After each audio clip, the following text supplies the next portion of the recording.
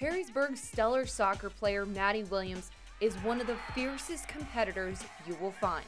She's a really good leader. Like she has a lot of good leadership qualities. Like she, in practice, she always gets everybody to like work harder and um, just like play their best. So she brings out like the best like competitiveness in everybody.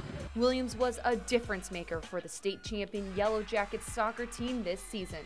A team that went 23 and 0 and outscored their opponents 108 to 5.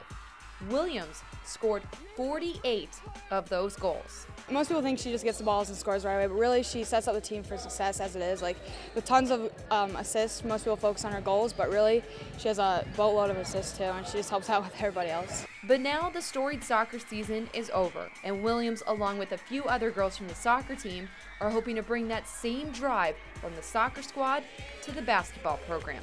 All the girls definitely know the pressure and know um, all like hard the hard work it takes to get to where we were. So hopefully it translates into basketball season. Williams loves playing basketball, but soccer is her forte, and she can never get enough.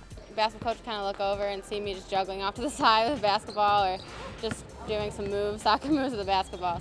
Now a starter and key contributor on the basketball team, it's been Williams' work ethic that makes the transition seamless. She's good with her hands and with her feet. She just knows the ball really well and put, always puts it in the goal or hoop no matter what. In soccer, my whole thing is scoring, and in basketball, I'm mostly a defender. So, uh, pretty opposite sides of it, but um, both sports I work my hardest. One of the most competitive people I know, and it just always seems to be on for her.